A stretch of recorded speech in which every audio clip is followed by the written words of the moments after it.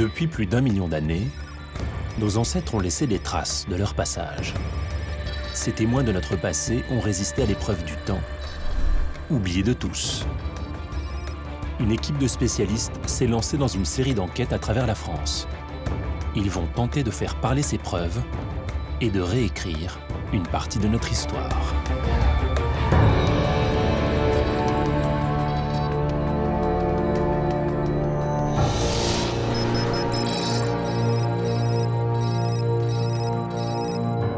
Juin 2007, à Cher-le-Marché, à quelques kilomètres d'Orléans.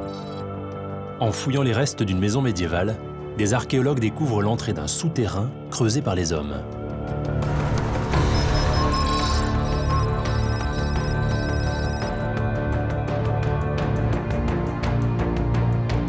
Les experts vont tenter de répondre à trois questions. Pourquoi les habitants avaient-ils creusé ces galeries? Était-ce un lieu de stockage ou une cachette? À quoi ressemblait cet endroit au Moyen Âge Nous appellerons cette affaire l'énigme du souterrain. Donc les plateaux de la Beauce sont situés au sud de la région parisienne et c'est une région qui est connue pour la présence de souterrains qui euh, ont été creusés sous des maisons par les habitants en général au Moyen Âge, euh, plus spécifiquement vers le 10e, 11e siècle. Et leur découverte est souvent très fortuite, c'est-à-dire qu'on signale, par exemple, lors de travaux agricoles, qu'un tracteur est tombé dans un trou. Dans le cas présent, euh, il s'agissait donc de, grands travaux qui ont permis euh, la découverte de souterrains euh, extrêmement bien conservés, ce qui est extrêmement rare. Pour pouvoir comprendre ce genre de vestiges, il faut une exploration assez complexe qui se rapproche beaucoup plus d'un travail de spéléologue que d'un travail d'archéologue classique.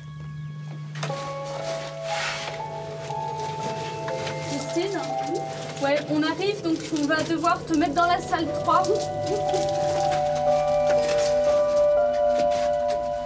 Le souterrain est constitué de deux galeries d'une trentaine de mètres et de trois salles de petite dimension. Les archéologues retrouvent quelques fragments de poterie, mais aucun autre indice.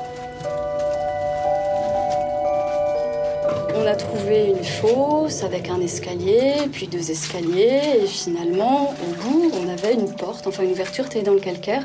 On est dans une chronologie, on va dire, très vague, enfin très large, qui irait du XIIIe à la première moitié du XVe siècle. Donc en gros, à l'époque où les Anglais occupent la région, puis en pleine guerre de Cent Ans. On connaît plusieurs usages pour ce type de souterrain. Le plus courant euh, correspond à des cachettes, des refuges, mais également des lieux de stockage. Une autre hypothèse euh, souvent proposée est celle de lieux de rassemblement dans des salles beaucoup plus grandes qui peuvent rassembler plusieurs dizaines de personnes. Et donc ces lieux peuvent effectivement avoir cette vocation.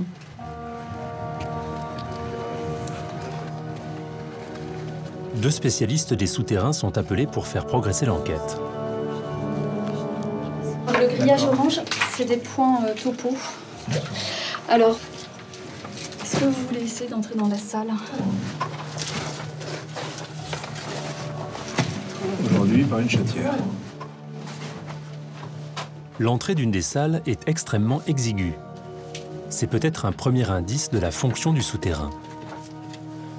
Il suffisait d'un gourdin ou d'un poignard pour en interdire l'accès.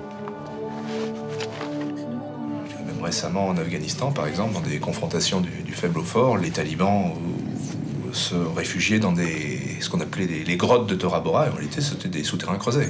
Mhm. C'était des souterrains creusés et ça avait quand même une certaine efficacité, même face à l'armée américaine. Donc on, peut tout à fait concevoir qu'au Moyen-Âge, euh, des paysans aient creusé des souterrains comme ça pour euh, se réfugier en cas de, problème. Un souterrain comme ça pouvait leur fournir un, un refuge de proximité ou une fortification de proximité euh, tout à fait convenable face à de simples pillards.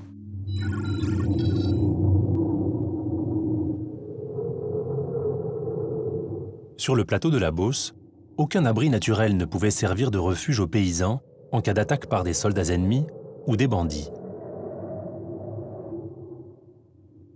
Le souterrain aurait donc été creusé pour s'y cacher et conçu de manière à pouvoir se protéger des assaillants.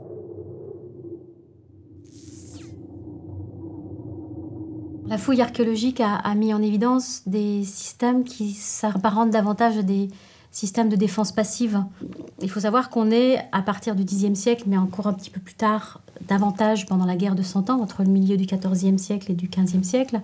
On est à une période de grande insécurité sur l'ensemble du territoire, mais en particulier dans les campagnes. Il semble d'ailleurs qu'à l'issue de la guerre de Cent Ans, euh, les campagnes aient vraiment été décimées et qu'il y ait eu euh, une grande crise agricole euh, chez les paysans à cette époque. Et donc, il était nécessaire ou de se cacher ou de cacher ses réserves et de se protéger. Donc, quelle que soit l'efficacité du système, puisque finalement, dans le cas du souterrain d'Acher, comme dans d'autres, si on connaissait l'entrée, il était extrêmement facile d'enfumer le souterrain et donc de piéger ceux qui souhaitaient s'y réfugier. Ainsi se termine l'affaire de l'énigme du souterrain. Mais d'autres fouilles, d'autres enquêtes attendent encore les experts du passé.